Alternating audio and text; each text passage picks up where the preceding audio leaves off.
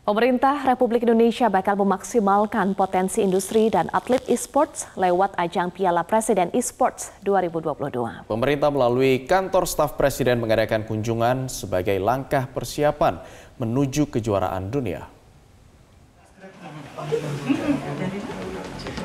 Turnamen Piala Presiden eSport 2022 menjadi upaya pemerintah RI dan seluruh stakeholder terkait untuk memaksimalkan potensi industri game dan e-sport tanah air.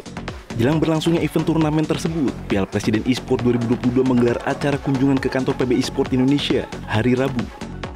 Kunjungan Abad Nego Tarigan selaku Deputi 2 Bidang Pembangunan Manusia Kantor Staf Presiden ini bertujuan untuk melihat persiapan PBSI menjelang berlangsungnya turnamen IASF World Championship 2022 yang akan berlangsung pada akhir tahun ini.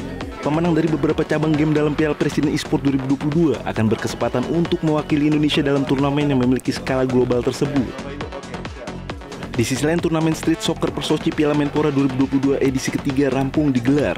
Diikuti 10 tim putra dan 8 tim putri dari 7 provinsi yang dihelat di Plaza Kantor Kemenpora Jakarta. Turnamen ini menjadi ajang pencarian bibit atlet muda bertalenta. Dalam turnamen yang sempat terhenti karena pandemi itu, tim putra Pengprov Persoci Sumbar dan tim putri Pro Direct SSC Jakarta keluar sebagai juara.